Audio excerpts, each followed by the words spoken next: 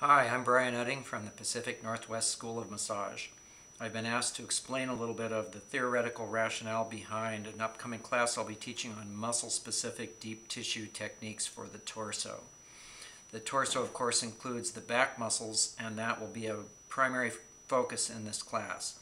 When you talk about back muscles to a lot of our clients, and actually quite a few of our quite a few practitioners as well, the muscles they tend to think about are these larger external muscles such as the traps, the rhomboids, the lats, and so on.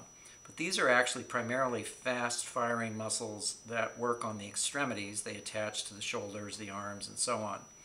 Underneath those, we have uh, the postural muscles, um, the erector spinae, um, and the transversospinalis underneath them.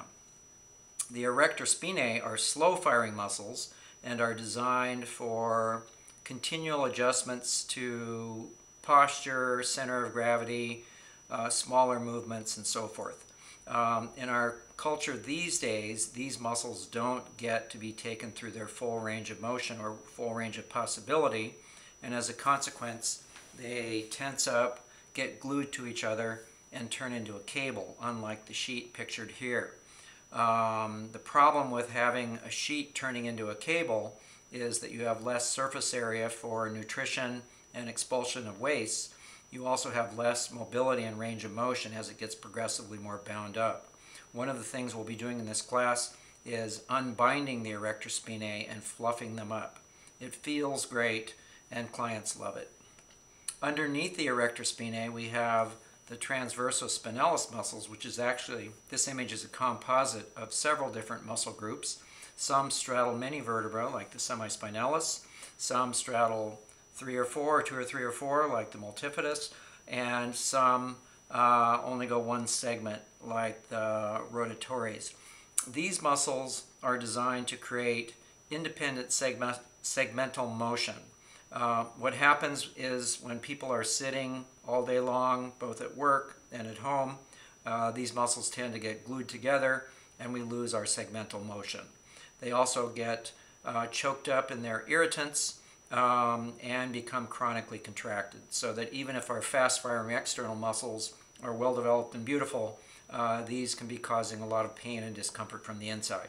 What we're going to focus on in the class is getting these muscles stretched, lengthened. We're going to squeeze out all those old irritants. We'll call it pain juice. And we're going to kind of comb the fibers, get them separated from each other and working properly. This feels wonderful.